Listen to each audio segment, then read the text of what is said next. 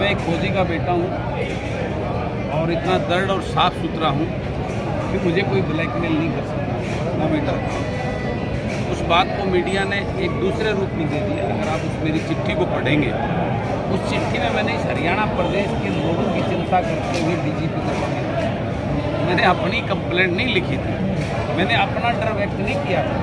मैंने उस चिट्ठी के अंदर बड़ा क्लियर कट ये लिखा हुआ है कि ऐसे ब्लैकमेलर जिसकी मुझे भी ये काल मिली नंबर से और उसमें इस प्रदेश के कैबिनेट मंत्री एक कांग्रेस के एम एमएलए, बीजेपी के एमएलए का भी नाम और नंबर ऐसे दुष्ट गिरोह को, जो कल को किसी कॉमन मैन को ब्लैकमेल ना करे, इस प्रकार से ये कॉल करते हैं। साइबर क्राइम का बहुत बड़ा खेल है।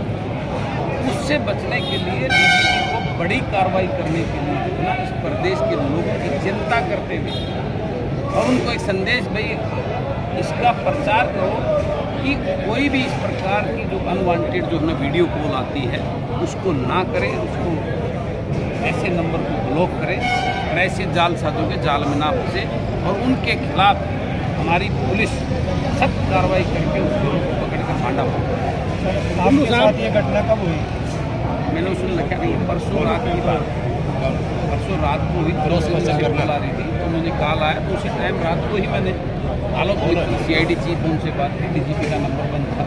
और बात करने के बाद कल सुबह मैंने जो है ना अपने रिटर्न में डी जी पी को ये इससे अवगत किया कि ऐसा ऐसा खेल है इस प्रदेश के लोगों को इस प्रकार के चुगल से बचाने इस प्रकार ब्लैकमेल ना हो कोई उससे बचाने के लिए उन्हें साहब क्या ये कोई पॉलिटिकल कॉन्स्पिरेसी भी हो सकती है आपके खिलाफ?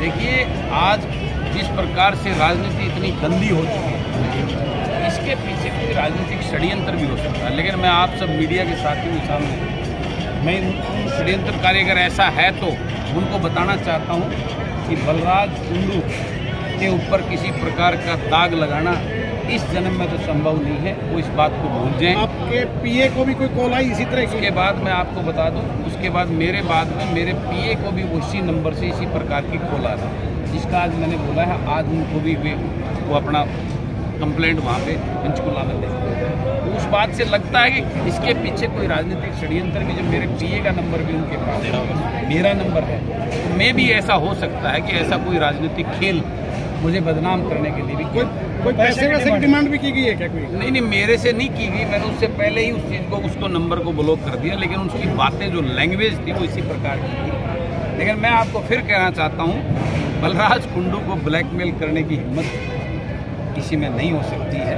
और ये पहले ही मुझे ब्लैकमेल कहो डराने की धमकाने की लोभ लालच की उसको भी ब्लैकमेलिंग कहेंगे। इस सरकार ने भी बहुत कर ली लेकिन बलराज कुंडू स्टाफ की उसमें आने अलग प्रकृति का आवाज़ इसकी महिला की आवाज़? दोनों साहब